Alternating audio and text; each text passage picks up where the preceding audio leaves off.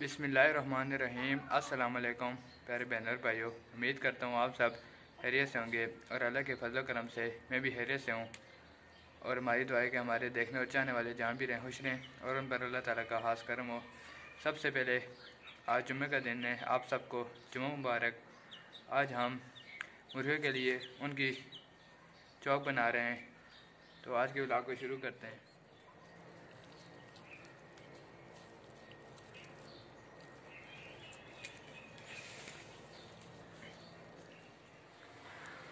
आप देख सकते हैं जैसा कि ये छोटा चिकन बच्चे अभी। ये खाना खा रहे और अभी हम इनकी चौक बना रहे हैं।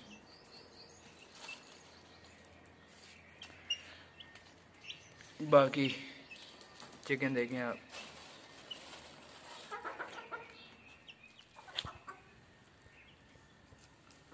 जैसे कि अभी मैं मुर्गियों के लिए इनके चौक बना रहा हूँ।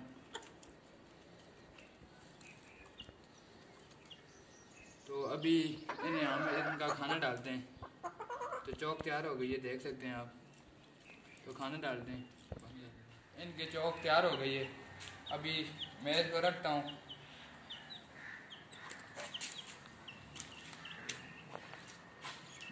人有啊。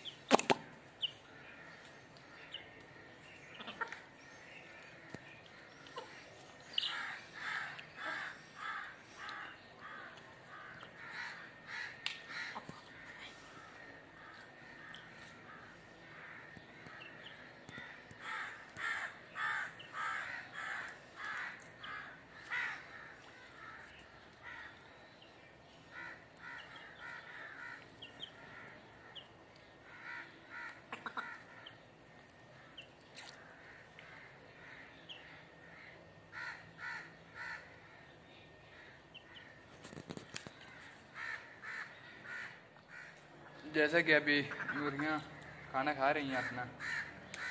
हमने उन्हें चौक बना दी थी, अभी वो खाना खा रही हैं।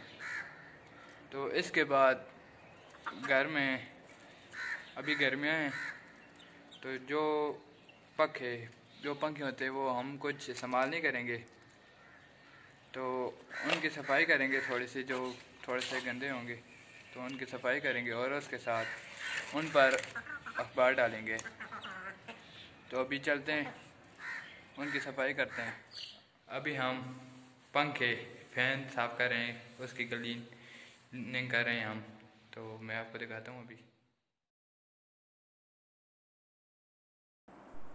अभी हम पंखों की सफ़ाई करेंगे।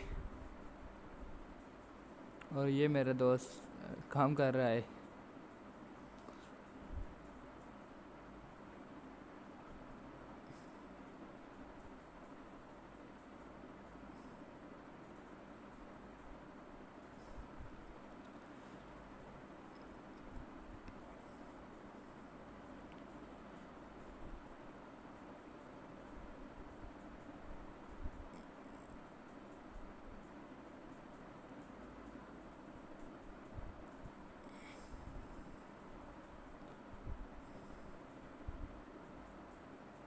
और साथ ही इसे खुश भी कर रहा है क्योंकि गीला नहीं छोड़ रहा है इसे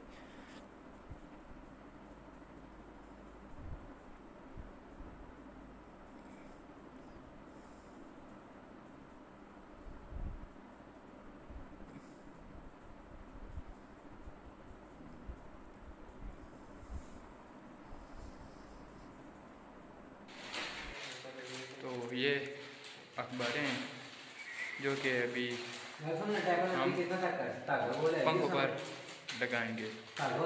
क्योंकि गर्मी है तो जो पंखे यूज़ नहीं होंगे, उन पर हम ये लगा देंगे। तो चलते हैं वीडियो की तरफ़। और साथ ही अभी इस पर अखबार लगाएँगे।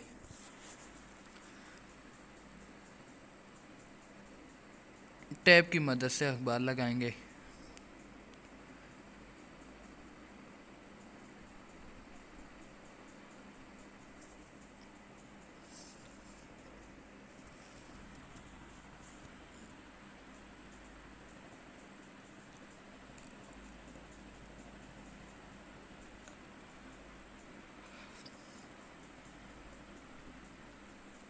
तो अखबार लगाई जा रही है अभी।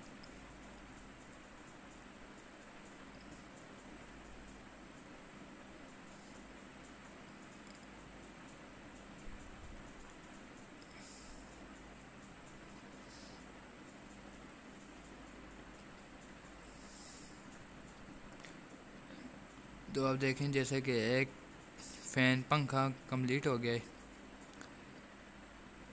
और देखें, आप इन गिलों का भी है, इनके इनके ऊपर अखबार हमने लगा दिए। तो जैसे कि अभी शाम का वक्त हो गया है, और हमने मुर्गियों को खाना भी खिला दिए तो उनकी चाक बनाकर। और घर के पक, जो पंख होते हैं वो थोड़े से गंद थे। तो साफ़ कर कर हमने उस पर अखबार लगा दिए। अभी गर्मी है तो वो यूज़ नहीं होंगे तो उन पर अखबार लगा दिए। जो यूज़ होंगे उन पर नहीं लगाई। तो उम्मीद करता हूँ आपको हमारे आज का ब्लॉग पसंद आएगा। अगर आपको वीडियो अच्छी लगी तो काइंडली वीडियो को ज़्यादा से ज़्यादा लाइक करें। और हमारे चैनल को सब्सक्राइब करें। इससे हमारे चैनल की जो नई वीडियो आएगी, वो उसकी नोटिफिकेशन आप तक सबसे पहले पहुंचेगी। तो इसी के साथ इजाज़त चाहता हूँ। तब तक के लिए अपना बहुत सारा ख्याल रखिएगा। अल्लाह हाफिज़।